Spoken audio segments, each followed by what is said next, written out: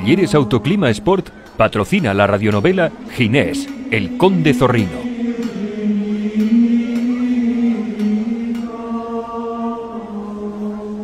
Una superproducción de El vuelo del pingüino.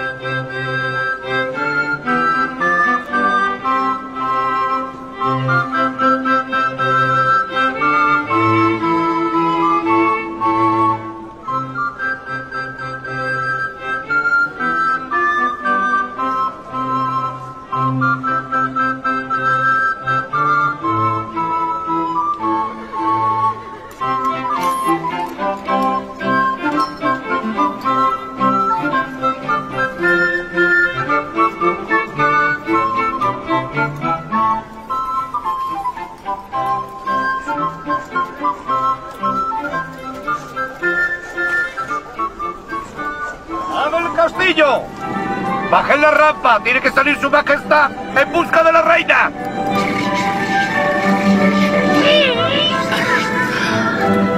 ¡Señor! ¡Me parece... ¡Vamos, sabía! ¡Sabía que los engañaba, majestad!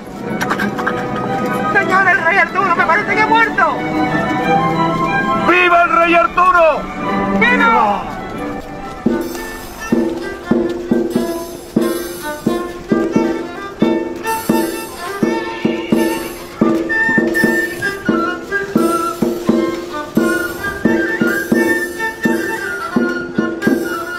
Los relatos sensuales de Ginés, el conde zorrino, capítulo 9, me cortaría las venas con un mojón seco.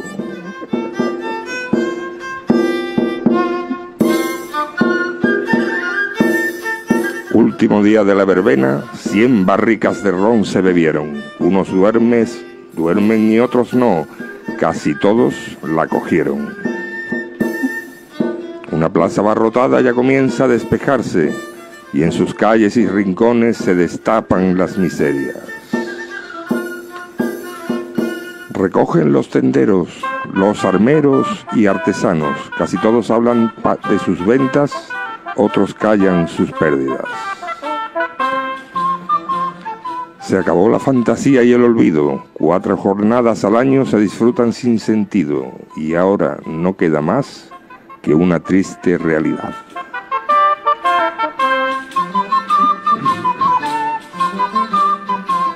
Amanece en la villa, calles colindantes a la plaza acomodan a borrachos durmiendo la mona en portales y cuadras.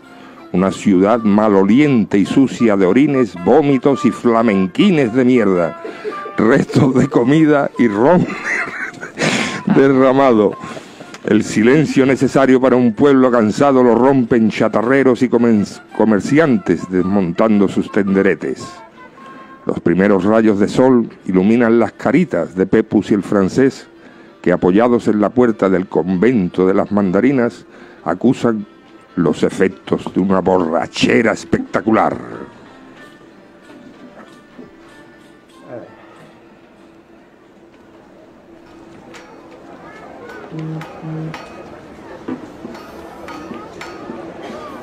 Apaga la luz, francés, que no puedo con mi vida.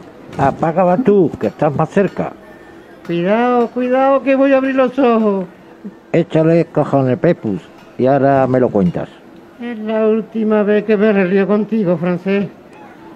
No quiero ni pensar en la cara de mi mujer cuando llegue a casa. Creo que después de cuatro días sin aparecer, mejor que, que no vuelva. Ja, ja, ja. No digas eso, francés. Si mi mujer no podría vivir. Pero estoy seguro de que mes y medio, sin hablarme, no me lo quita nadie. ¿Sabes, Pepu? En este escalón me sentaba de pequeño. Mi madre me preparaba el desayuno y me lo tomaba aquí tranquilito, mientras mm, me calentaba con los primeros rayos del sol de la mañana. Qué frío hacía entonces. Entonces no bebía tanto, ¿no? Aún recuerdo tendríamos unos ocho años y ya tenía bigote. Te esperaba para ir a la escuela y bajaba a tu calle con los andares de un pato mareado. Ahí has cambiado un poco, ¿eh? Que me gustaría volver a esos tiempos y no como ahora, siempre solo llegando a mi cuadra todas las noches y, como compañía dos yeguas y tres borricos. Te envidio, Pepus. Ya te lo he dicho. No cambio a mi crismona por nadie. Tienes nombre de Chopec. Después no llores, Franchute, que te la estás buscando. ¿A que no te acuerdas de Bartinico? Sí, un niño con una hechura de enano. Era vecino de mi abuela, que fue de él. Tuvo suerte el tipo. Se lo comió un león de un circo de un solo bocado. A los dos días se indigestó y lo vomitó vivo. El león murió y a Martinico lo hicieron santo. Ahora vive como un rey de asesor en el monasterio de Iberdrola.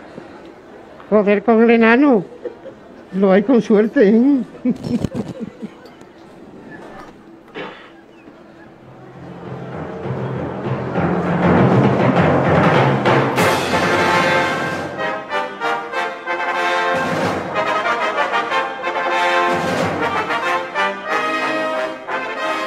¿Será posible que ahora las trompetitas con el dolor de cabeza que tengo? Algo debió de pasar, por, por ahí viene el soldado.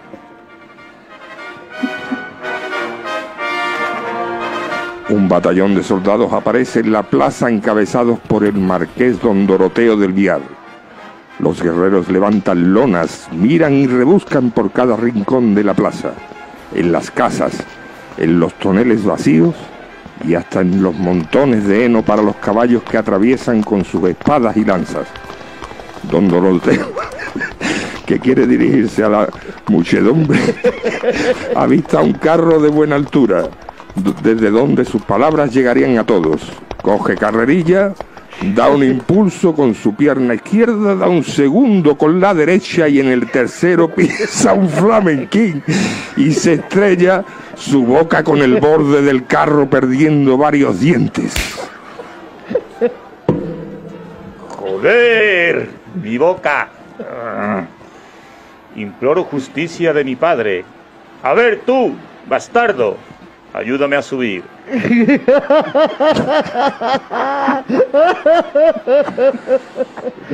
Si esto fuera en otra época, tuviese hecho un TikTok.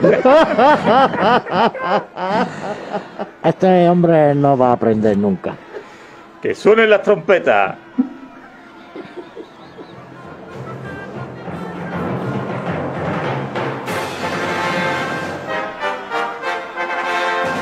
¡Parad ya! Nada, me va a tocar trompetita sordo. ¡Parad ya! A ver, ciudadanos de la villa, desde hoy hasta el infinito, el conde Zorrino es acusado de traición al reino y por lo tanto se convierte en proscrito de por vida. Daré 200 monedas de oro a todo aquel que dé información de dónde se encuentra y 2.000 monedas a quien, no me lo, a quien me lo entregue vivo. Por otro lado, quien lo ayude a huir o de cobijo para esconderse. Él y toda su familia sufrirán lo más grande manos de mi verdugo torpe, el inquisidor, hasta que muera. La ley del billar se impone en esta villa desde hoy. Ay, no puede ser. Me cago en el ron que me bebí. Pepus, ¿pasa algo?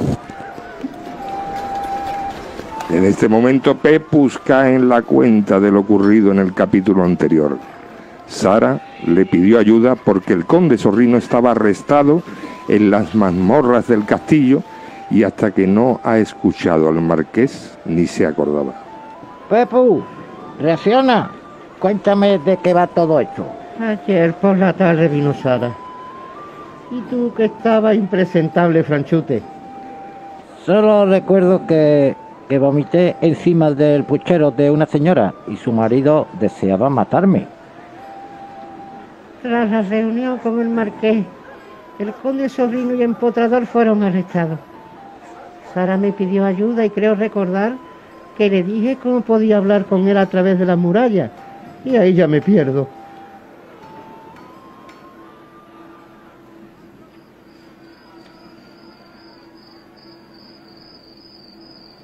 En el final del capítulo anterior dejamos a Sara y al conde conversando. Ginés, encerrado en las mazmorras del castillo, comentaba a la doncella que su hermano Venancio Gay Rancio estaba vivo y a buen recaudo. Además le hizo un encargo a Sara, traerle la espada de Arturo, Excalibur. Sin dudarlo fue al salón de las armas, la recogió y se dispone a dársela. Qué poco se ve aquí. Y ahora a buscar de nuevo el ladrillito que se mueve. Este es. Sara, ¿eres tú? Sí, Ginés, aquí estoy. ¿Y la espada de Arturo? ¿La tienes? La tengo. Pásamela, anda. Ahora mismo se acaban de marchar del último repaso de óseos que me dieron. Tenemos tiempo. Es muy pesada, Ginés. No sé si puedo meterla. Inténtalo, Sara. Esto se está poniendo complicado y no sé si aguantaré mucho más. No te veo. No sé si caerá cerca de ti. Vamos, Sara. Es mi única salvación. Ahí va. Sara consigue colar la espada por el agujero y cae a los pies de Zorrino, que se encuentra encadenado a la pared. La tengo, Sara. Ay, gracias a Dios. Ahora debes marcharte. Tapa el agujero y corre hasta tus aposentos. Refúgiate allí. Y ni sabes ni me has visto. Tu vida está en peligro si el marqués se imagina algo. Ten mucho cuidado, Ginés. ¿Cómo sabré de ti? ¿Cuándo podré verte de nuevo? Sabrás, sabrás, no te preocupes. Pero deberás esperar a mi señal. Hasta entonces sigue tu vida como siempre y no intentes nada, por favor. Podrías hacerte mucho daño si pensara que sabes algo de mí. Ten cuidado, pero tú no hagas el loco. Si te pasara algo, me moriría de pena. Me cortaría las venas con un mojón seco.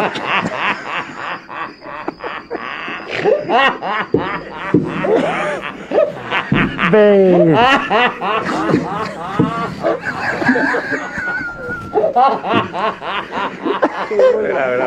¿Ves tú? Te va a callar ya. ¿Ves? ¿Ves tú? Tus palabras dan vida. Voy a poner de nuevo la piedra y me marcho, Ginés. Mucha suerte, cariño. Ole tú. Y las patillas de Paco Candela. ¡Qué mujer!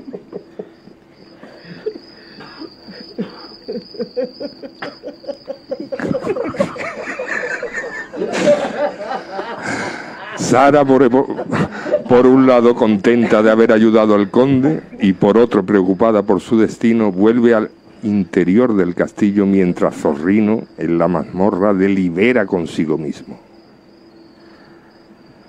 ¿Será posible que no me acuerde de lo que me dijo Arturo? Vamos a centrarnos. No me queda mucho tiempo. Las palabras de Arturo fueron, si alguna vez caes preso en las mazmorras del castillo, solo Excalibur podrá sacarte del embrollo. ¿Pero cómo? No me acuerdo.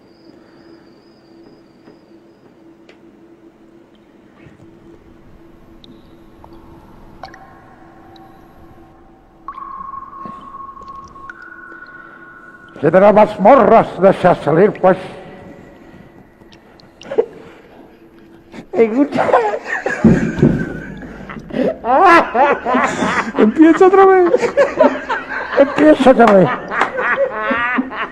Pepe, ¿cómo vamos a salir? Te vas a dejarte reír. No puedo seguir. Si de las mazmorras de salir, pues. En una grieta de la pared de la espada de Arturo debes meter. Pulsa la gema roja de la empuñadura. ¡Giráis!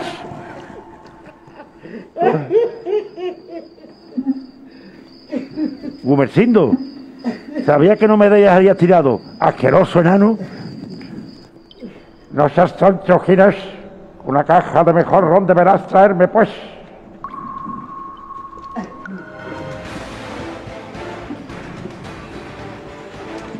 Ay, En una grieta dice En una grieta dice el del moco. Solo en esta pared hay más de 100. Probaré en esta. El conde, hombre afortunado, acierta la primera y mete la espada hasta el puño. Aprieta la gema roja de la empuñadora y una mágica luz cegadora invade la mazmorra. Un pasillo se abre en el muro, la luz alerta a los guardias mientras Ginés coge camino de un brete hasta, hasta afuera del castillo. El pasillo se cierra y los guardianes le es imposible seguirlo. Vaya pasada, Arturo, él es la caña. Bueno, ¿dónde estará Empotrador? Ya sé, grito. ¡Yegua!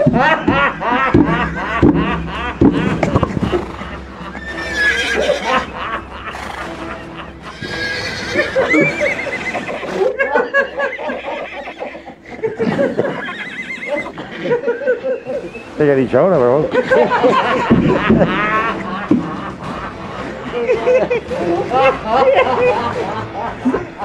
¡Corre, empotrador! ¡Salgamos de aquí! Ha ha ha ha ha!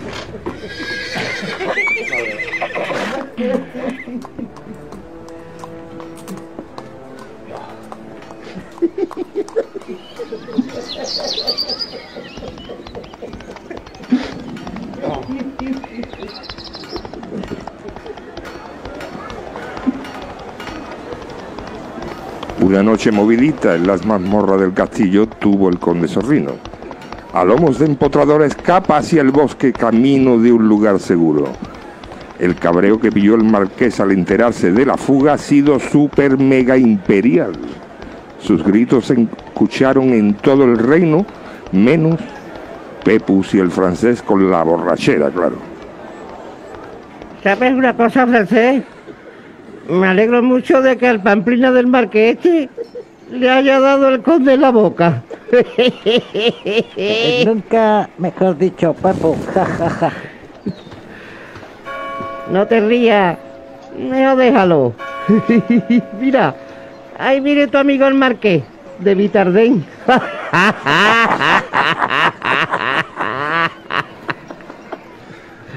Qué, son- qué sonriente os veo a los dos. Lárgate, Pepus, que tengo que hablar con tu amigo. Ha ido a cocina. Me voy para mi taberna. Mi mujer me espera. Luego te veo, Franchute. Francés, mírame a la cara. Quiero saber dónde está el conde. Quiero saber dónde está el hijo de Arturo. Quiero saberlo todo y ya. Tu vida depende de ello.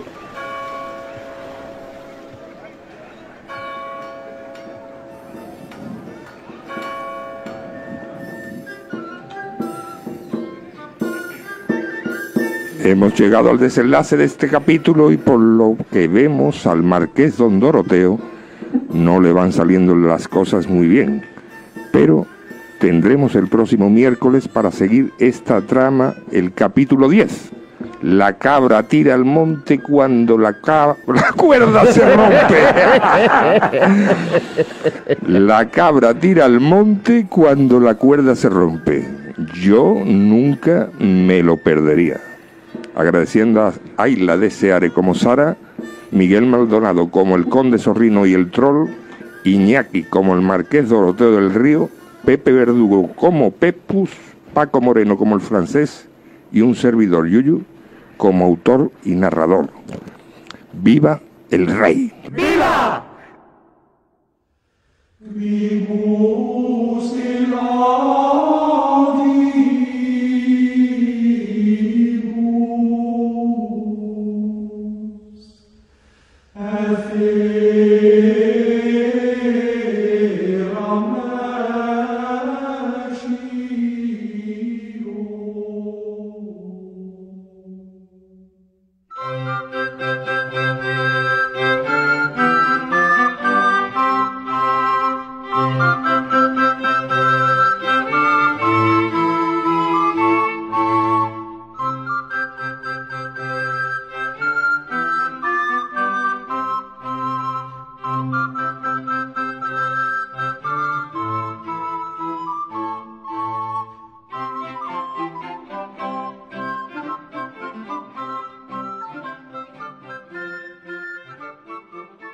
Los relatos sensuales de Ginés el Conde Zorrino, capítulo 10. La cabra tira al monte cuando la cuerda se rompe. Ahí es. No hay dos sin tres intentos de usurpar el poder, demostraciones de ambición que derrama nuestro señor Márquez. Un pueblo ajeno a la verdad, atrapado en su pobreza y los impuestos, mantienen a un inútil corte que no quiere perder sus lujos. Sobre un futuro para todos, hace un reino grande. Inviolable regla que si no se cumple obliga al débil a mover ficha. Esclavitud por contratos, sumisión por derechos, hambruna por dignidad. Es necesario que a todos nos cueste algo.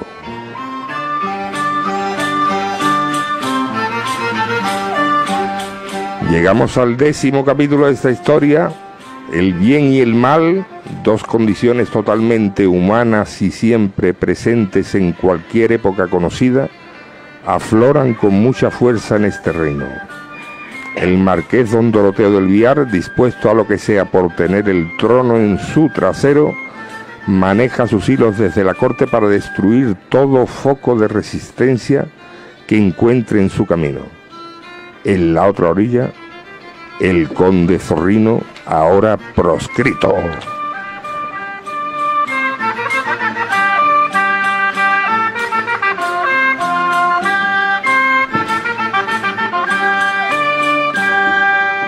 En el capítulo anterior, Sara salva al conde de un fatídico final, proporcionándole la espada de Arturo Excalibur. A Ginés no le queda otra que huir hacia el bosque. Cientos de bárbaros del norte, guardia personal del marqués, lo buscan a conciencia.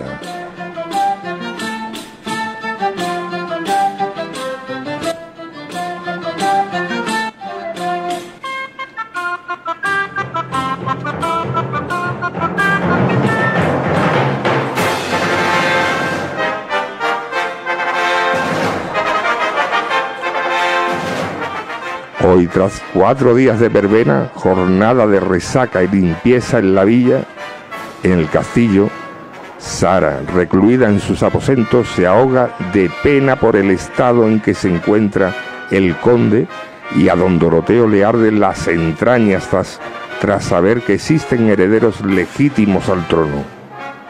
Ahora nos vamos con Pepus y el francés. Ellos vienen de vuelta en el carro de Leno traen comida para los caballos del galo.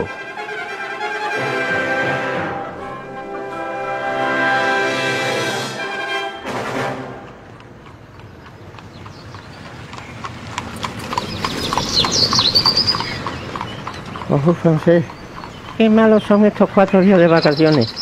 ¿Y ahora quién tiene ganas de abrir la taberna? De nuevo y aguantar tonto. No, no me hables, Pepus. Llevo casi una semana limpiar las cuadras y deben de estar de mierda de caballo hasta el tejado. Habría que preguntar a los caballos qué prefieren. Si el olor a mierda o el tuyo, francés. Pues creo que, que el mío Pepus, cuando me oyen llegar, mueven las orejitas y el rabo. Eso es hambre, francés. que lo tienes desmayado. No te rías tanto, que desde ayer no paro de ensuciar los calzones. Me tiene muy preocupado la fijación del marqués conmigo. Ese hombre es muy malo y últimamente lo veo tan fuera de sí mismo que me temo lo peor.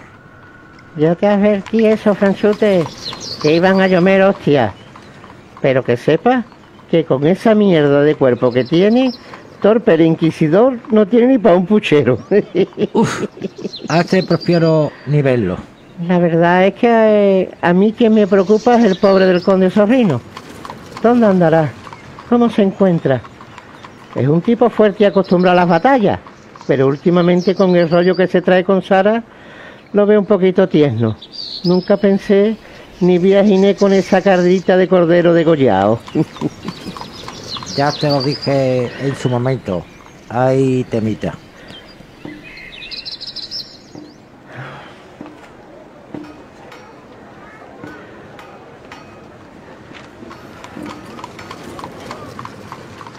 La ciudad vuelve a su normalidad.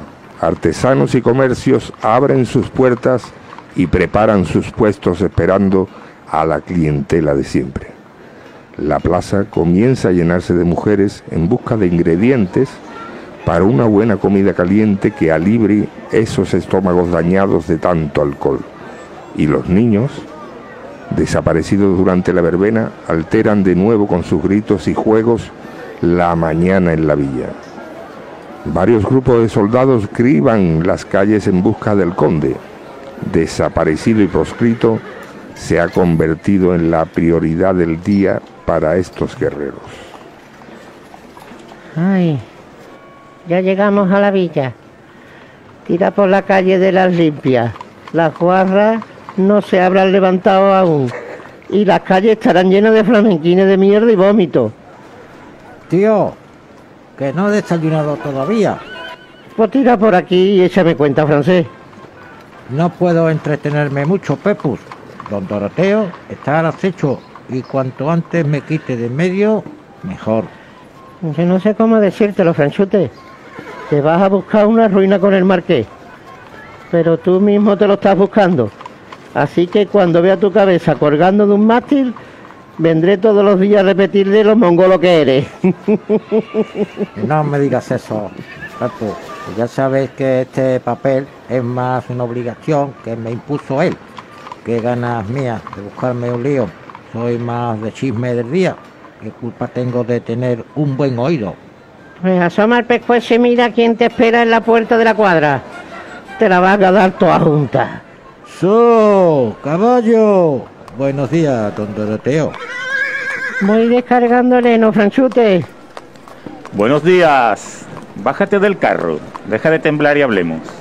Ahora mismo, señor Marqués. ¿Tienes algo nuevo para mí? ¿Sabes algo del conde? De momento nada, señor, como si hubiera desaparecido de la faz de la tierra. Algunos comentan que está en el bosque de la pimienta. Allí se esconde un grupo de proscritos y puede que ande con ellos. Otros me dicen que salió para el sur en busca de su fiel ejército, pero todos son especulaciones, Marqués. Ya mandé a mi guardia a buscarlo al bosque y de momento nada. Aunque sé que esos proscritos son difíciles de encontrar y también sé que el capitán Pierna Cortada y el general Trípode son fieles al conde. Mm, No sé. Necesitaría un poco de tiempo, señor Marqués.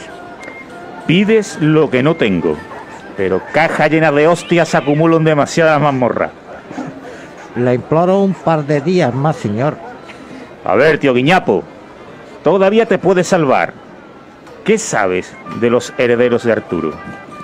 Poco, señor. Son parejas, niño y niña. Hoy serán hombre y mujer. Viven en las tierras bajas de Gürtel y se dedicaban a sembrar nabos. El nombre de él, Venancio, pero el de la ella, el de ella no lo sabe nadie. Fueron separados desde pequeño y no se volvieron a ver. Ninguno de los dos tiene paradero conocido. ¿Gürtel? ¿Has dicho Gürtel? Sara es de allí.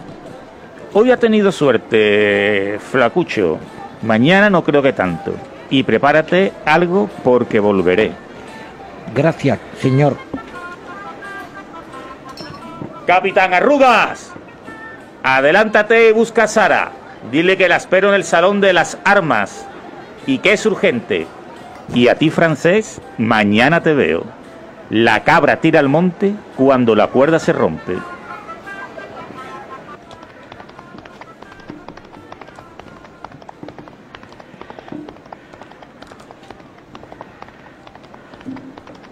El marqués sale con su guardia hacia el castillo deseando saber más.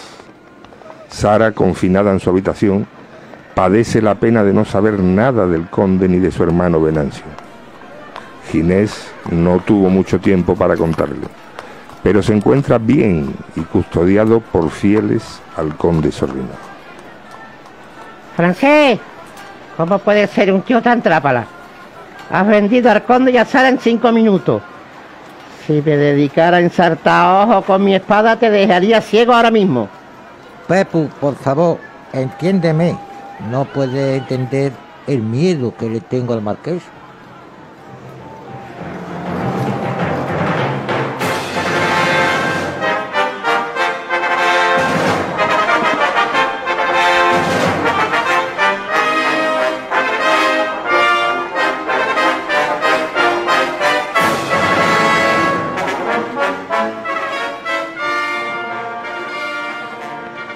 Don Doroteo acaba de llegar al castillo y se dirige al salón de armas al encuentro con Sara.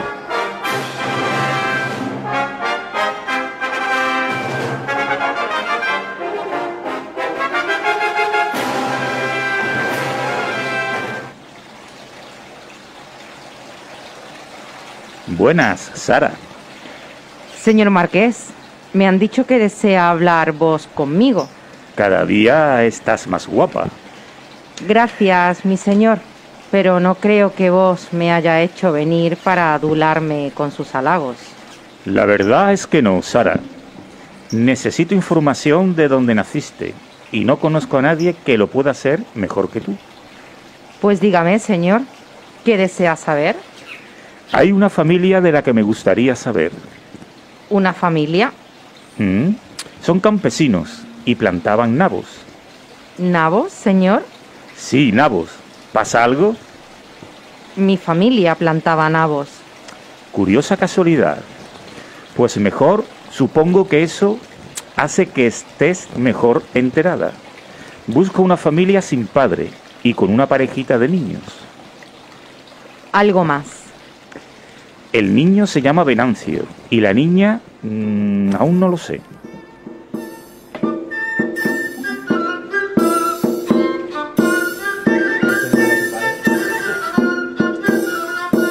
Llegamos al final de este capítulo con la cara blanca de Sara al escuchar la última frase del marqués. En el próximo capítulo Cascajo y un sombrero del carajo veremos el final de esta conversación tan interesante para esta historia. Agradeciendo a Ayla de Seare como Sara, Miguel Maldonado como el conde Zorrino y el troll, Iñaki como el marqués Doroteo del Río, Pepe Verdugo como Pepus, Paco Moreno como el francés y un servidor Yuyu como autor y narrador. ¡Viva el rey! ¡Viva!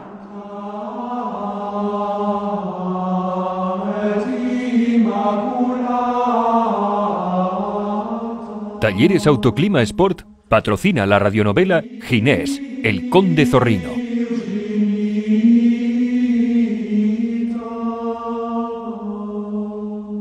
Una superproducción de El vuelo del pingüino. Únete al programa de radio más simpático y humano de Sevilla. Onda Capital, 95.1 FM, ondacapital.es y en directo en Facebook Live. Tardes pingüinas, tardes sin aspirinas. Onda Capital, la onda de Sevilla.